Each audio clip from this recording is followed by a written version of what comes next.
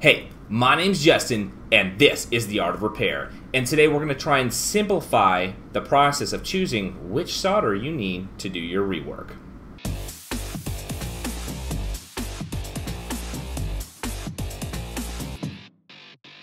So, which type of solder should I buy to do micro soldering on mobile devices? Okay, well, we need to understand a couple different things here before we make our decision on which one we're supposed to get, because who knows, maybe maybe for some reason at the end of this video you're not going to want the solder that you have now or even better yet you're not going to want the solder that I'm using why because you, know, you have different preferences okay if you go on Google right now and you do do do do do do do and you type in like micro soldering solder or you know soldering alloys or something like that you're going to come up with this big old list this big old list is going to get really intimidating. You're to see numbers all over the place. In fact, you're going to see numbers and letters, and they're to be smashed together, and you're to be like, holy crap, we have to do algebra? No. No algebra involved. I'm going to explain first and foremost what the actual little letters and numbers you see mean. Okay? So let's take 6040 as an example. You see this, it's, it's a very, very common soldering alloy. 6040. Now, you see it, and you see 60 and some letters, and 40 and some letters. They can be in either direction. You got the number, right? That is the percentage of the type of metal that's denoted next next to that in the little letters. Okay, so you've got percentage of what, percentage of what, and it should equal 100 because you know 100% of something can only be made of 100% of something. You can't have 120% of 100% of something. So let's let's let's kind of move on to the next one here. That one was pretty simple.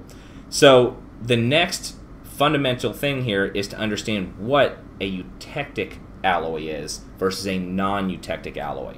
Okay, this is very very important because a eutectic alloy has the exact same melting point as its freezing point. It's a point.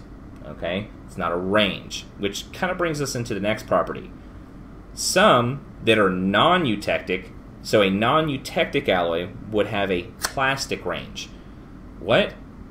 Okay, so if a eutectic alloy has the same melting and freezing point, then a non-eutectic alloy with a plastic range would have more of a range for melting and freezing. Okay, that makes sense. Things are getting a little, little bit easier here. Um, once we know that, then we can start to start trying to figure out which alloy we want. Okay.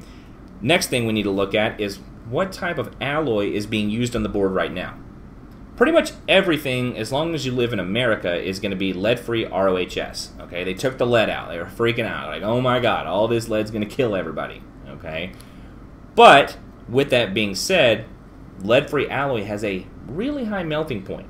Okay, so it would stand to benefit somebody who is reworking the board to use something that was a little bit lower. Now, why would we want to use a solder that has a lower melting point than what's on the board? Well, see, that's where it gets really interesting, and that's where all the that's where these little properties start to come in, and you know, come into a little you know idea of which one you should be getting.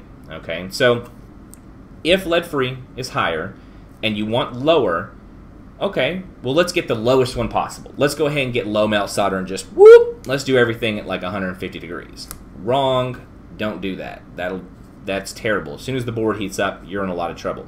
We want something that's just a little bit lower, okay? Just enough that you can work on the board after you've realloyed something and not have as much fear of disturbing other components. You see, if the alloy you put on there is lower than what's around it, then it should be a lot easier to work on, right? And then we talked about these plastic ranges, okay? So if you pick a solder that has a huge plastic range, then you know, what if you accidentally tap it after you're done? What if what if that plastic range meets really close with that lead-free solder?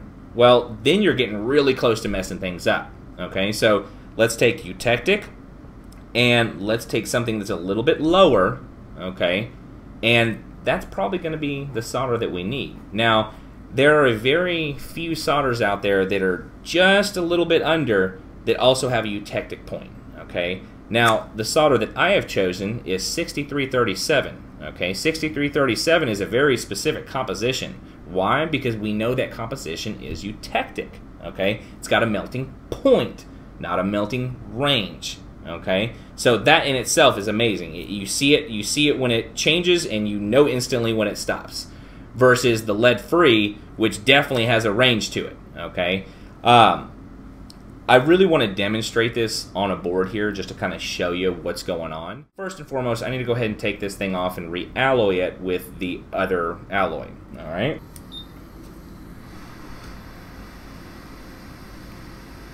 Just gonna heat this bad boy up. Um, something important to note here: lead-free ROHS solder has a much, much higher melting point than lead-free 6337.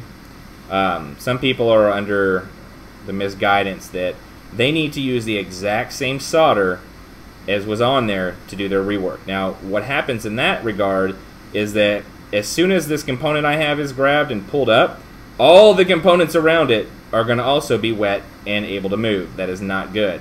One of the reasons we're picking the 6337 is because it has that eutectic point on it, and it's just going to be either melted or it's not going to be melted. Okay? Any of this lead-free ROHS stuff is going to have that plastic range or a melting range. Okay? So let's go ahead and let's keep this component safe because I don't want to lose that. That over there, make sure I didn't lose it because you know it's really simple if you don't keep eye contact with your donor components that they just they disappear. So let's go ahead and get our iron. Let's get our flux from our never-ending flux here because my YouTube set doesn't get a lot of board work. So this will probably last me until infinity or until it expires. Um, let's get ourselves some 6337, which is a eutectic lower melting point solder. Okay, it's not by a lot, but it's enough to make a difference.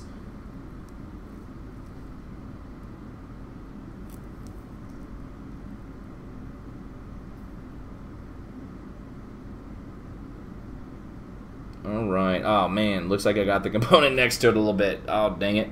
Alright, well, you know, that's actually kind of cool because one side is actually going to liquefy before the other side, so it'll kind of pronounce the uh, what I'm trying to get across here a little bit better. Okay, um, we're going to go ahead and get our little component here. Make sure we don't lose it. Set that bad boy on there. And if you've watched my surface tension video, you know that once this thing liquefies, it's going to grab and it's going to go for that super small surface area and it's going to whoop pull the component back in, okay?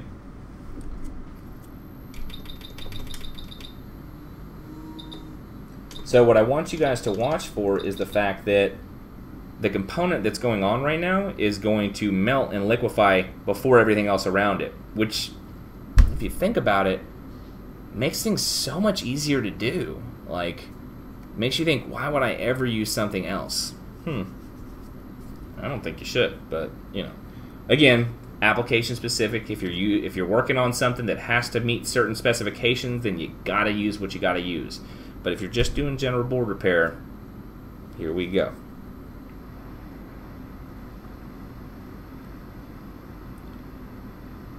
So what I think I'm gonna do is I'm gonna probably tap some of these like lead-free ones while this one's melted.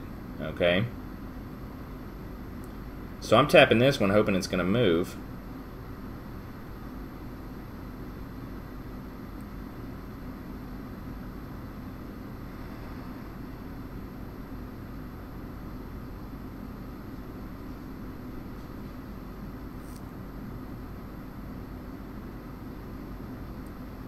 See that? Now let's see how long it takes. The other one's already done. It's set. But I'm still tapping this other one next to it, trying to get it to melt. Come on, give it to me. The other one's been done here for a while.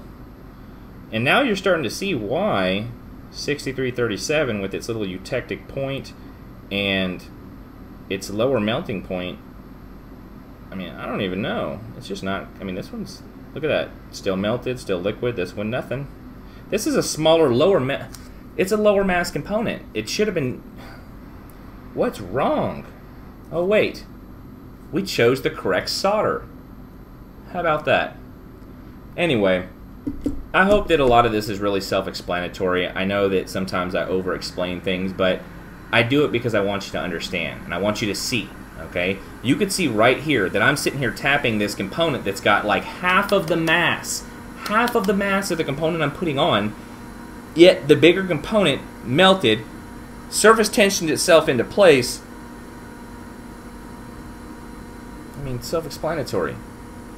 I hope you learned something today. I really, really do. I, I hope you took something away from this.